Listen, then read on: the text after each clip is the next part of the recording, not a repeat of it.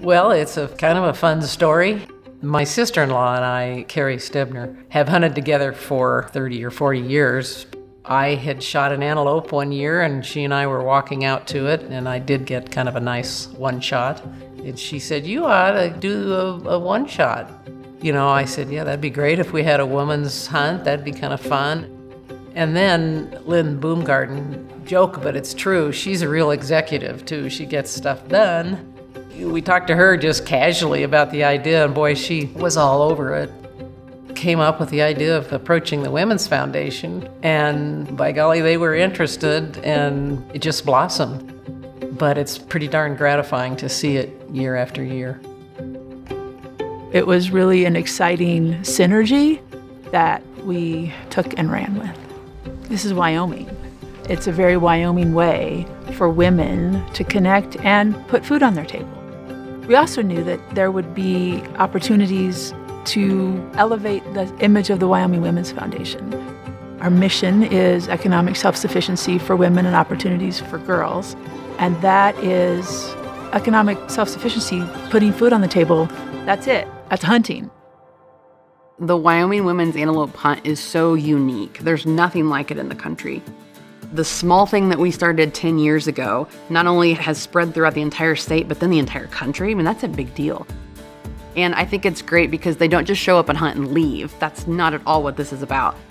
When the women first arrive for the hunt, you know, a lot of them are starting off, they've never handled a rifle before, and they go to the rifle range and then do the skills course and experience what it might be like to be on an actual hunt and so when they actually get out in the field and hunt, they, they have a feel for what they might expect.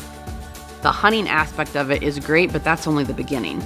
You come back to the meat pole, you can learn how to process your animal, you can learn about taxidermy. We have cooking classes.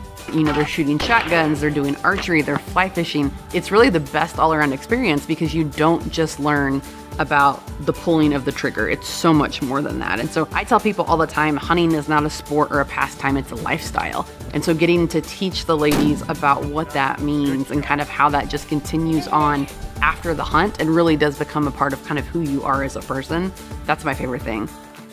First year we had it, we had some challenges.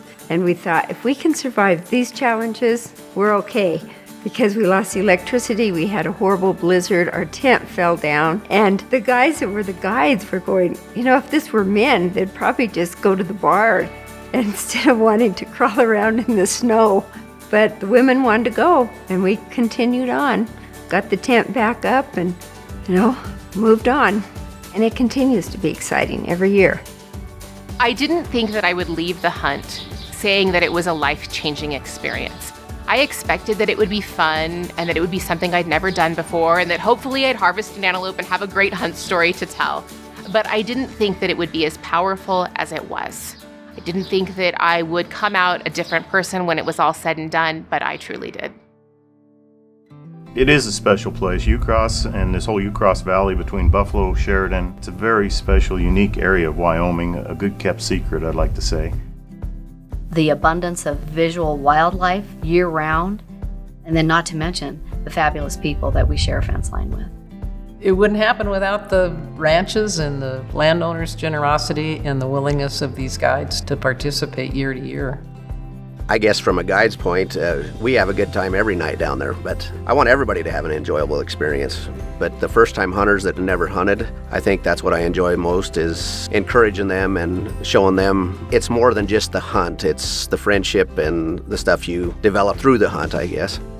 So as a guide, I'm actually there to be a coach and a mentor, not a guide, where you know a guide is there to do everything. But the emphasis more on coaching and mentoring and I'm teaching the whole experience. But they don't have to harvest. The fact that they're enjoying it and having a good time is what we're looking for. That's the reward as a guide is the person's had a life-changing experience whether they harvest or not. Just you never know what little word you might say or a little snippet is going to change somebody's life and help them.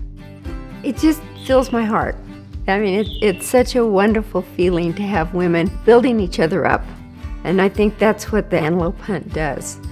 It's not just memories these women are making, they're actually learning how to better their lives. And they're learning how to learn these life skills that they can take home and then actually better their lives and their families' lives. We want to stay connected to these women. We want to continue to foster these relationships after they've left the ranch. And so they came up with this idea that if you are an alum of the hunt, you are now a sister of the sage. Because sometimes you need a sage sister. And so it works for mentoring in life and in the field. But I think there's a responsibility that we feel to each other to help each other and continue our journeys. This is the perfect way for me to start my hunting journey. I'm so excited. I'm beyond excited. I'm going to be able to feel what the texture of their fur is, feel their horns, and just really get that close up interaction and see all the little details that you can't see from afar. I think there's a magic to this hunt because not only does it help people learn to hunt and help people mentor, but it also supports the Women's Foundation. And that mission is something that most women can relate to.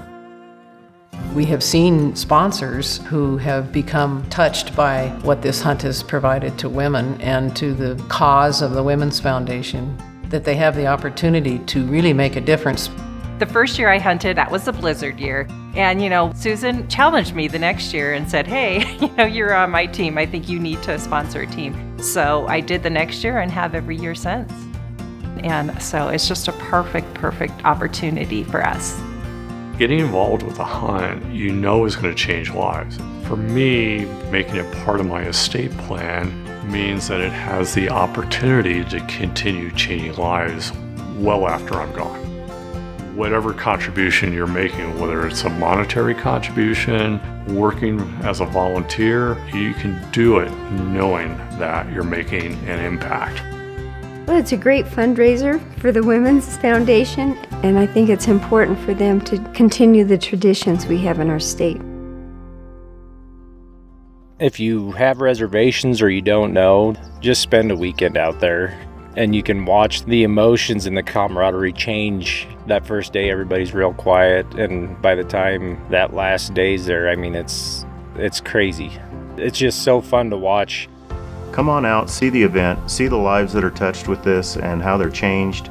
And watch this weekend play out is very empowering. People want to be a part of it.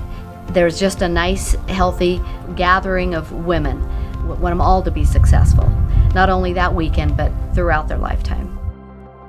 I would like people 50 years from now to be living in a world where it was not unusual for women to hunt and they could look back at a time when women didn't hunt and they'd be thankful that somebody took a step, you know, 50 years earlier to encourage more women to hunt. I think we've laid a fabulous foundation in the last 10 years. I'm excited to see what happens down the road, and I'm confident that it will continue to be the special event for Wyoming and for the Women's Foundation that it is.